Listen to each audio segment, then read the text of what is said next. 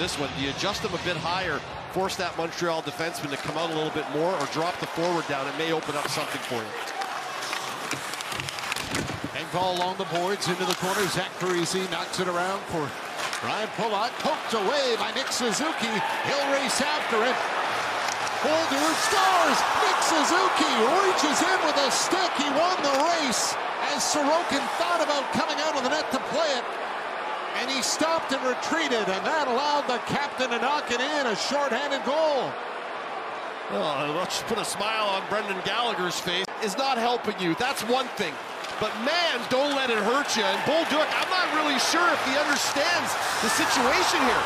He's skating back, and it looks like he's looking over his shoulder. And he really, I mean, bearing down. I mean, get in his way, step in front of him, do something.